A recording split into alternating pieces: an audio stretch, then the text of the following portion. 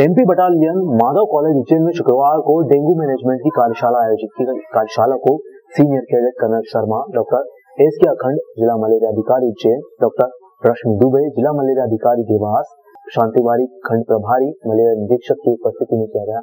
Interactive session में cadets ने काफ़ी उत्साह दिखाते हुए प्रश्न भी पूछे डेंगू के विषय में जिज्ञासाओं का समाधान भी किया। आगामी दो दिन में उज्जैन शहरी क्षेत्र के डेंगू प्रभावित क्षेत्र में एनसीसी कैडेट द्वारा लार्वा सर्वे किया जाएगा।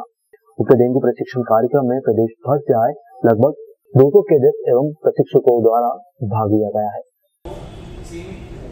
अच्छा तो